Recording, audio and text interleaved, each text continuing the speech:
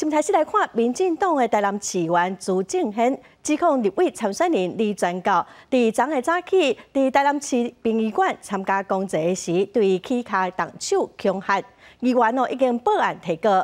李全教的定义是讲，因为这个议员伫过去捌公开批评李全教贿选哦，嘛强调讲，迄当时李全教只是甲手放伫议员的肩胛头尔尔。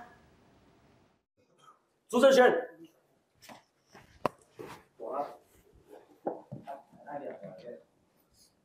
啊，就一直扣住，好，都都没有放了啦，就长达五分钟啦。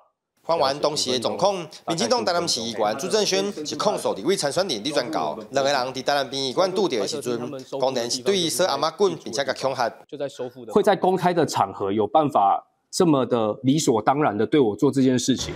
第一个，他的法治的精神可能不够，他觉得这样做并不是什么严重的事情。那这样也代表着在没有人看到的地方，当我一个人的时候。我会遇到什么样的事情？这个是很难讲的。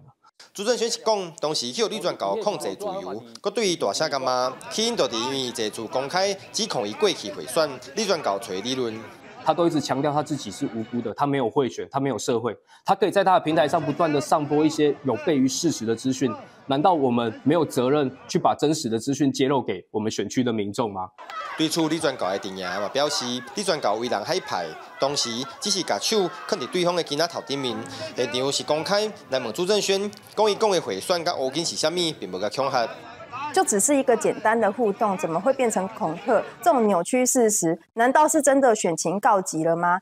他屡次这样子一直抹黑李全教先生，不管是在网络新闻媒体或者是公开场合，那已经对李全教先生造成他的人格上的磨灭。台湾私立殡仪馆怀哲厅涉嫌妨碍自由等案，啊，本分局已经受理哈，依法办理中。李全教的电影嘛无排除提过朱正轩诽谤，以图虽然无当选的诉讼，只不过殡仪馆关键的监视器画面，警方以警察无公开无提供，代志的真相有待警方来厘清。记者郑政府台报道。